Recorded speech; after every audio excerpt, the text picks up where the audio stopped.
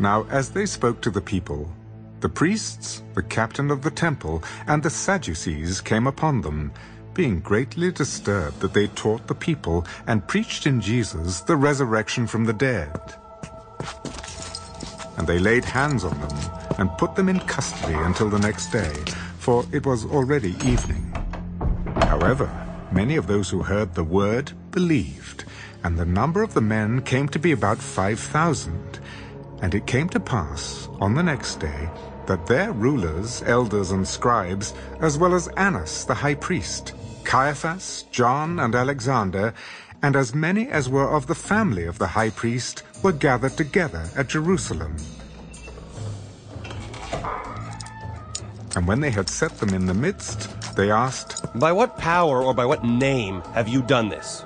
Then Peter, filled with the Holy Spirit, said to them, rulers of the people and elders of Israel.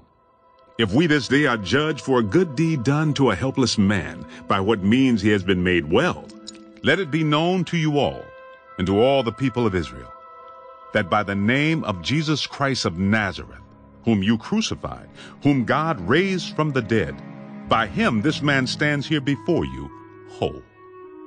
This is the stone which was rejected by you builders, which has become the chief cornerstone nor is there salvation in any other. For there is no other name under heaven given among men by which we must be saved.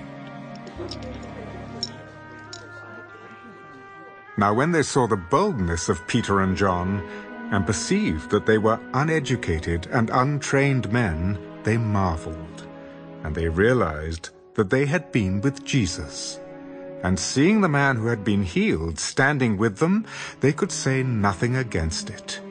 But when they had commanded them to go aside out of the council, they conferred among themselves. What shall we do to these men? For indeed, that a notable miracle has been done through them is evident to all who dwell in Jerusalem, and we cannot deny it. But so that it spreads no further among the people, let us severely threaten them, that from now on they speak to no man in this name.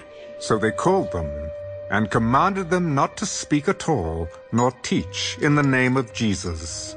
But Peter and John answered, Whether it is right in the sight of God to listen to you more than to God, you judge. For we cannot but speak the things which we have seen and heard.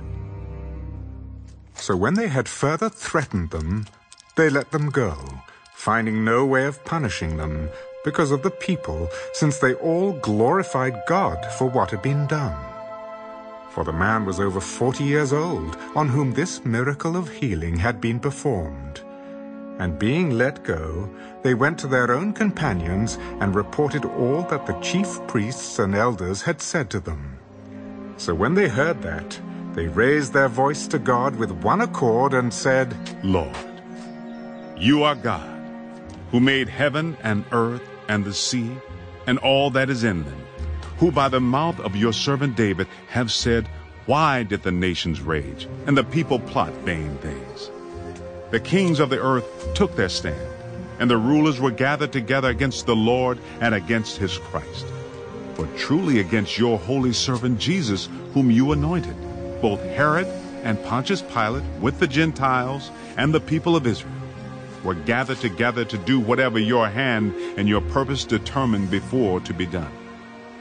Now, Lord, look on their threats and grant to your servants that with all boldness they may speak your word by stretching out your hand to heal, and that signs and wonders may be done through the name of your holy servant, Jesus. And when they had prayed, the place where they were assembled together was shaken.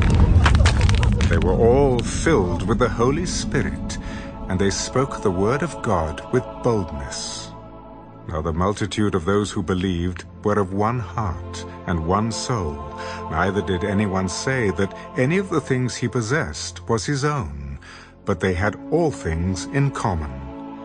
And with great power the apostles gave witness to the resurrection of the Lord Jesus.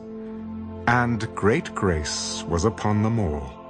Nor was there anyone among them who lacked, For all who were possessors of lands or houses sold them, and brought the proceeds of the things that were sold, and laid them at the apostles' feet. And they distributed to each as anyone had need. And Joses, who was also named Barnabas by the apostles, which is translated Son of Encouragement, a Levite of the country of Cyprus, having land, sold it, and brought the money, and laid it at the apostles' feet.